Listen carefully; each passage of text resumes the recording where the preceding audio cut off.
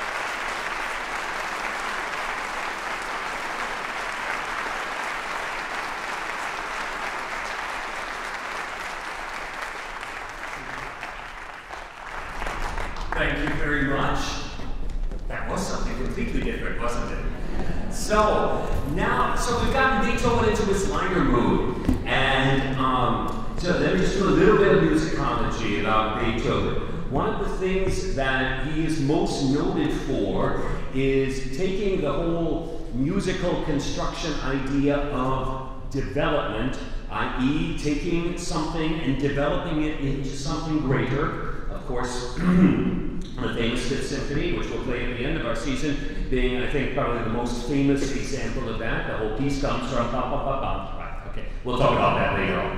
Anyway, uh, and almost like a like a warm up for this idea of development is the idea of theme and variations. I'm sure everyone is, most people are at least very familiar with that. I have some new folks in the concert hall, which is something I always love. It's very simple. You know, it's kind of like jazz, actually, when they play a song and then everyone does various riffs on it for the whole time. And, uh, and so that's what we have next. It's a set of variations for cello and piano from 1798. Uh, this is seven years after the original theme was written. The theme being one of the famous arias, or to put it in plain language, songs from Mozart's uh, opera, operetta, The Magic Flute. And it's called Ein Mädchen oder ein Weibchen, uh, a girl or a woman. And uh, so this is Beethoven's cover version of Ein Mädchen oder ein Weibchen. And uh, we have our cellist Patrick Owen to play it for us. Give a big round of applause for Patrick.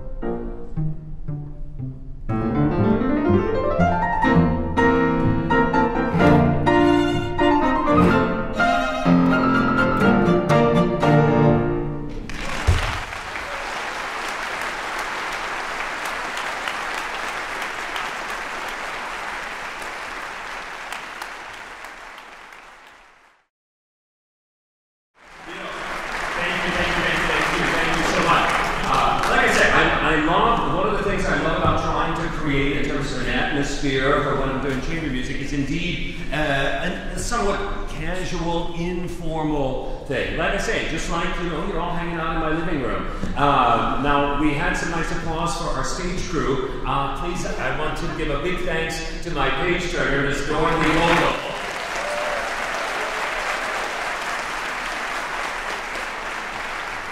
Of course, our fantastic pianist for the Traverse Symphony Orchestra, and a dear friend, and one of the few people that I feel comfortable sitting next to because she just always does everything right. That's the other side. On the other hand, I'm like, oh my gosh, I better not be bad in front of her. Uh, that's another stress. But, uh, but you're sweet, even when I play terribly.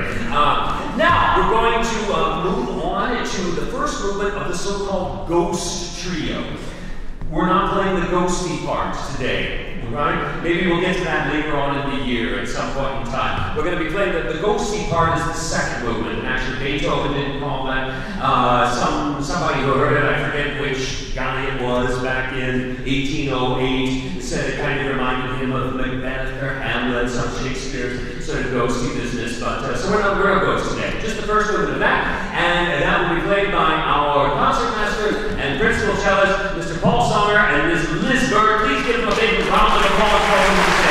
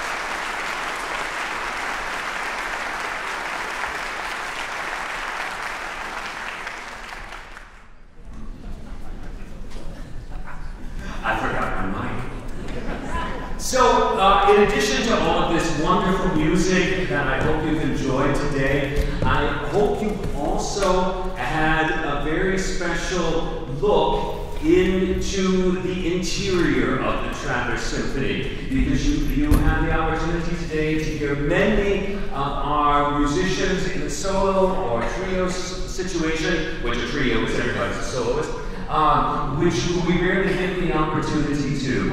And this is, uh, it's the depth of an orchestra, not just the, uh, the leaders up front, but how good everyone is to a single person that uh, makes up the quality of an orchestra or a choir or a band or any ensemble. And uh, I gotta say that uh, we can put together a, a, program like this made up of so many members of our orchestra is really a testament to the quality of your Traverse Symphony Orchestra.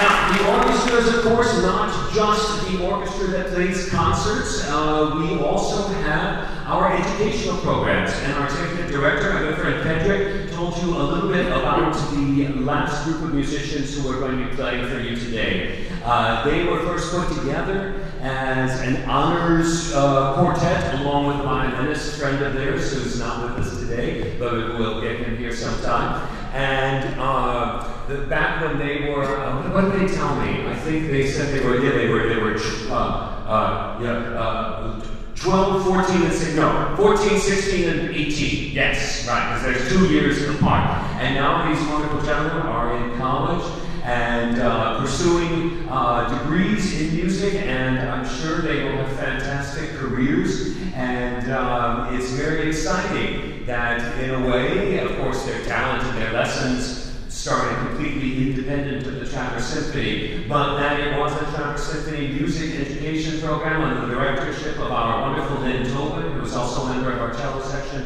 uh, that first brought these individuals together. And uh, I just had this as an idea, but I first had the chance to work with them yesterday. Uh, so I am um, only barely 24 hours in awe and amazement at how fine they are.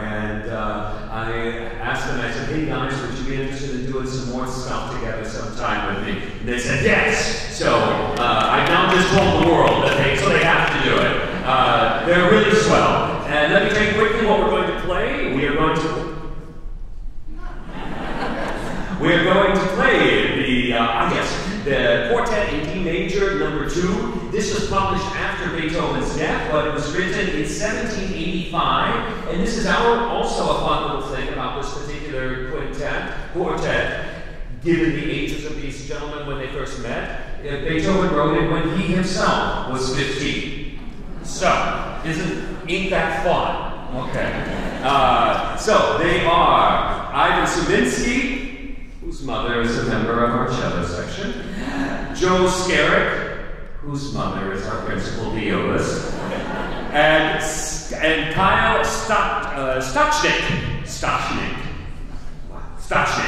I'm going to say this like that. What a great section, collection of names. Subinsky, Skerrick, and Stochnik. Oh, wow, that's great. Subinsky, Skerrick, and Stochnik. It sounds like a Czech law firm. All right. Welcome them to the stage.